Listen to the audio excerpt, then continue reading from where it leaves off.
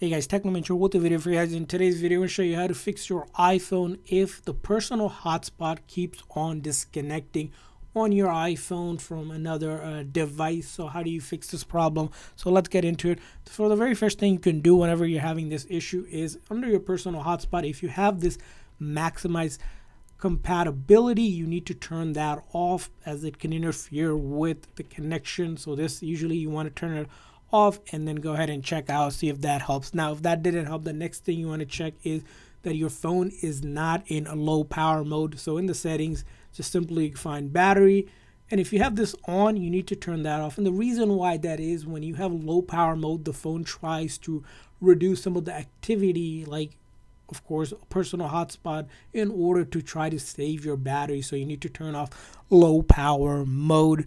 And the next thing you can do is if you're still having issue where maybe this time when the phone locks, you lose connection to the internet on the other device. In that case, there might be a bug in that scenario. You need to be in the setting here. And then for display and brightness, what you can try to do is so it doesn't lock on you, you could do where the auto lock is, change that to a longer time period or never as well if that's the option available for you. If and if you do it never then change it back after you're done using your personal hotspot to whatever the setting was back again.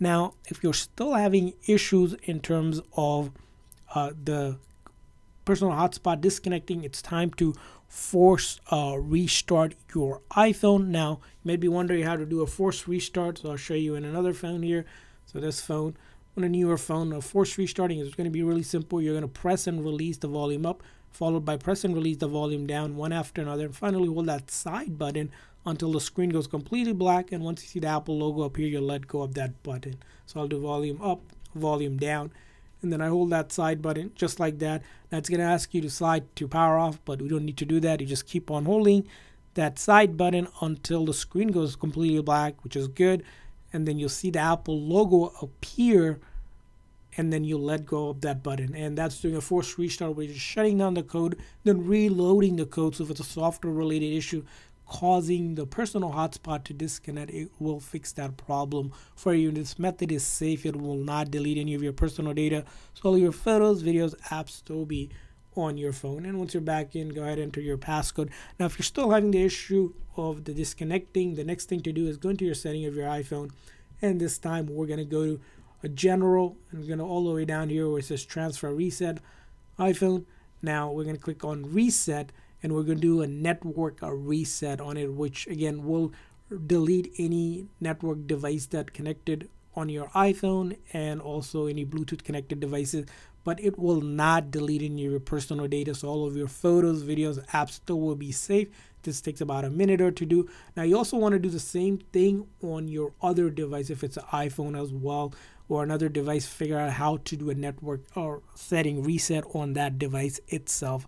Now, if you're still having the issue with it, it's time to check if there's a carrier update available for your iPhone. In order to check for a carrier update, it works slightly different. You go into the setting of your iPhone, you go to general and then you click on the about here and then you wait about a couple seconds sometimes within 10 to 15 seconds. There might be a dialog that pops up that says carrier update. If it does pop up you click on update.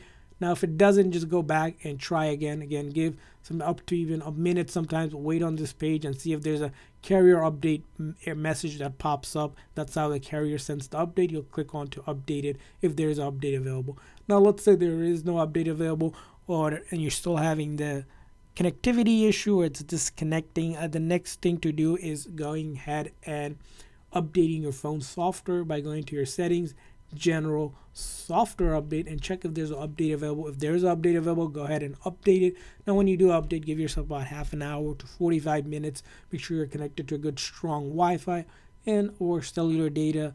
And of course when you do update it hopefully it fixes your problem and the personal hotspot is working. Now, one other thing to consider is if you're still having issue with the personal hotspot, is contacting your carrier to ensure that the personal hotspot doesn't have any limit or you haven't used up the data limit for it. Sometimes uh, carriers set certain limits in terms of how much hotspot data can you can use. So if you used up it, it might just disconnect you, or it might be really slow. Your carrier can help with that as well. So that's it for all the troubleshooting stuff. I hope now your personal hotspot is working without disconnecting. If so, please make sure to like and subscribe button. Also, if you found a way to fix the problem as well, do share with the in the comment section. Thanks for watching, guys. See you guys next time.